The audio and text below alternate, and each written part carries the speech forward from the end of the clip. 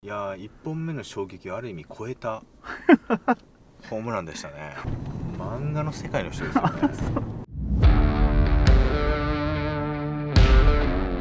えー、松坂さんお疲れ様でした。はいお疲れ様でいした。やー松坂さんいきなり出ましたね。翔平大谷ホームラン2連発ですよ。いやすーまあなんだろうな。ただのホームランじゃないんですよね あんなホームランなかなか見られないですよね。はすごかったですけどちょっと。いいやーそれぐらいもう球場で見れた人もテレビで見れた人もはあーもう本当にいいものが見られたと思いますよ。いなんかもう弾道が普通じゃないっていうかなんかやばくなかったですか？弾道より打ち方ですね。仕方。はい。は打ち方ですよね。あどの辺がいやーまあまあピッチャーからすればあのーまあ、決め決められた、はい。えーまあ、打ち取れたと。うーん、まあ、投げた時にこうイメージ通りのボールを、えーまあ、まさかの結果ですよね。1本目のホームランなんかは。ははい。まあ、タイガースの佐伯投手が、いはい。えー追い込んでから、えーまあ、フォークをですね、え。えーまあ膝の高さからか、ー、はい。えーまあ、よくバッターが空振りできる、えー確率のこう高いはい。空振りする確率高いところにしっかり落としたフォークだったんですけどはい。それを、えーまあ、膝をつきながら片手でしかもセンター方向にですねあんなホームランはあのなかなか見られないですしですね。うん、まあ、あの法政でも言いましたけどその低めの変化球をこううまくすくってはい。あの要は引っ張る方向にホームランするっていうのはえー、たまにあるんですよね、はいはいはい。もちろんそれもすごいことなんですけどえー、それをですねうんうん。片手であの方向にやっぱホームランするっていうのまたこう、まあ、余裕でしたからね。そうっすよね。軽々って感じね。リギリじゃなかったですからね。ねバックスクリーン。いやーすごかったですね。恐ろしいパワーなんですかねな？いやもうパワーですよ。はい、なるほもうあの大谷選手はこうウェイトトレーニングを、どはい。えーよくされてますけどいやもうまさにそのトレーニングの賜物ですよね。あはー第3打席もすごかったですよね。あの2打席連続になったんですけどスリーラン。いいや1本目の衝撃をある意味超えた ホームランでしたね。勝利超えちゃいましたか。うーん。あのまあ音を聞いてても確実にそのまあ芯に当たった音じゃないのは分かりましたし、えーまあその中継中にあのスロー映像はい。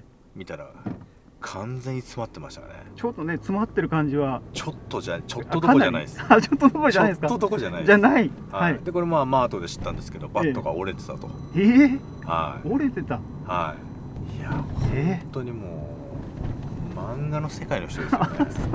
そうですね漫画ですね。いやすごいです。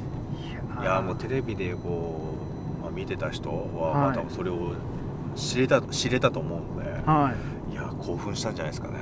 いいやもう本当まさにショータイムって感じですよね。いやーまだ強化試合ですけどはい。本当にファンが求めてる結果をですねはい。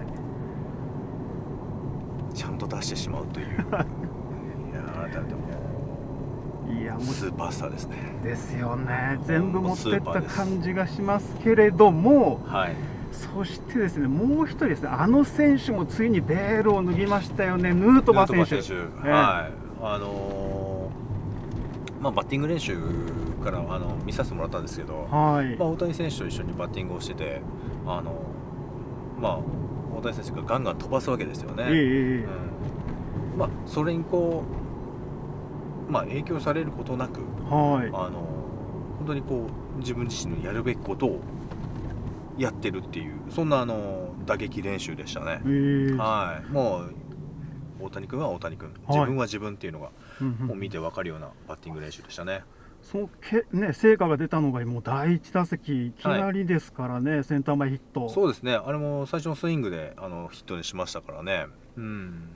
あの難しいボールでしたけどまああの打者有利のカウントではありましたけど、うんまあ、最初のこうスイングで、えーヒットが、はい。あのまあ、生まれたのは本人にとっても良かったですし、あはい。のまあ、ヌートバー選手が打ったことによってすチームもすごく盛り上がりましたよね。ああやっぱそうですね。2打席目はねタイムリーですからね。はい、先制点ですよ。まあ、先制タイムリーでしたけど、あのーまあ、それもやはりこうヌートバー選手が打ったっていうところにこう大きな意味があるように思えましたね。えー、それうん。どどういう意味ですか？まあ、あのチームがこう、えーまあ、こうチームにあの、はい。てこ溶け込みやすいようにまあいろいろとあのヌートバー選手に対して、えー回してあげたりしてましたけど、はい。うん、まあそれに対してのこう、まあ、恩返しじゃないですけど、あなるほど。はい。まあ、それに対してこうしっかり打って答えたっていうのかね、ええ。まあ、その試合にも入りやすいようなあの雰囲気作りを、まあ、みんなでしてくれたあの結果のような気はしますね。たっちゃん T シャツとかあれですよね。ありましたね。ですよね。は今日でもスタンドからも達治コールでしたよね。ヌートバーじゃなくて、い。あ、そうなんですね。ええお客さんもあの達治でしたよねあまあ、確かにあのバッティング練習中からのたっちゃーんとかって結はい構言ってるファンが多かったですね。そしてもう一人、はいメジャー選手吉田正尚選手も5番レフトでスタメン出場しました、いやすごいラインナップですね。そうですね本当に。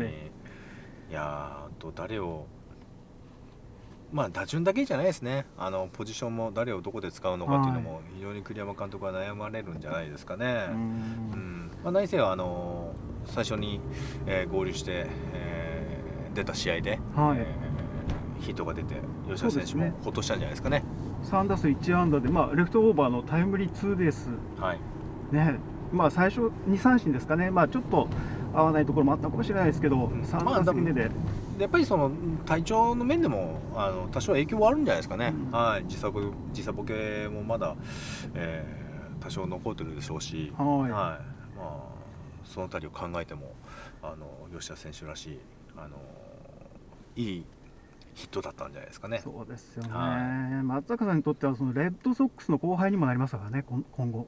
いやいやいやまだ早いですそん後輩だなんて思全然思ってないですよ。あそうですか、はい、なるほどもうただただやっぱりレッドソックス、まあ、僕もボストン住んでますから、えあのレッドソックスに来てくれてもう本当に嬉しいです。なるほど、はい、はい楽しみですそっちもそれからちょっとあのここまでちょっと不安な面もあった松井裕樹投手が7回にマウンドに上がりました、はい1イニング投げて三者凡退でした、はいこれはどうなんでしょう、調子も取り戻したと考えていいんでしょうかね。うんまあ調子も多少なんかこう良くなるきっかけをあのまあ大谷選手もアドバイスしたとあのなんかニュースで見ましたしあのなんかその良くなるきっかけをもしかしたら本人なんか掴んだのかもしれないですけど何せよ僕はあのとにかくいい結果を出してほしいと思ってたのであの松井投手もやっぱりまずあのきっちりゼロに抑えられてはい。良かったんじゃないですかね。ううんん、なんかあのそれまでは、えー、こう球がこう暴れる中でよりこうししっかりしたところにこう投げようとする、まあ、意識がちょっと強かったのかななんてはい。思ってたんですけど、今日はまあ見てたら、あのーまあ、狙いすぎてない感じがしたので、はい。うん。まあ、それは良かったんじゃないですかね。もう実際ボールに力はありますし、ええ。あのまあ、フォークもいい落ち方するので、うん、今日みたいな感じでこういい感じにこう散ってくれた方がなるほど。バッター打ちづらいんじゃないかと思いますけどね、まあ結果が出ると自信につながるみたいなところもありますもんね、きっと。うん、やっぱりこうあの打たれっぱなしでいくよりはあのある程度結果が出た方があの、はい。安心はすると思いますね、ええ。もうあの大会も始まりますし、はい、今日はそういう意味ではあの結果が出てあの僕も嬉しいです。あ嬉しい、はいしかし、まあ今日は大谷選手たち、このメジャー組があの初めて試合に出たことによって、はい。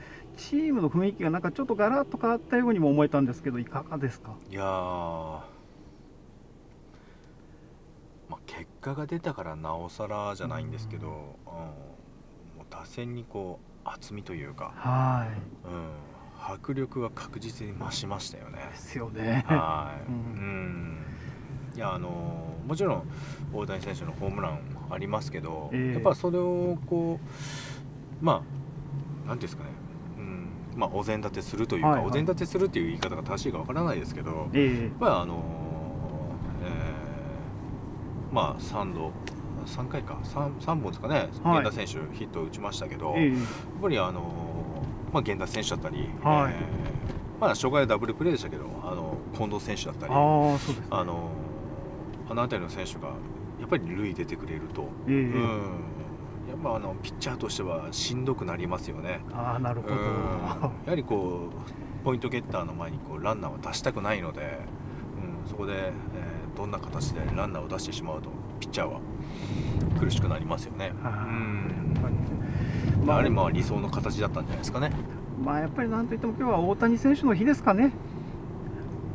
まあそうですねもう今日はしょうがないんじゃないですか。そうですよね。ああまりあのこうね一人の選手ばっかり言うのはって思うんですけど今日はしょうがないんじゃないですか、今日だね、けは。もうあれを見せられたら。い多分もうなんか日本中のプロ野球ファンが今日はなんか安眠できるんじゃないかなやーもう本当にただのホームランじゃないんですよ ですよね。普通じゃないですよね、うん。え。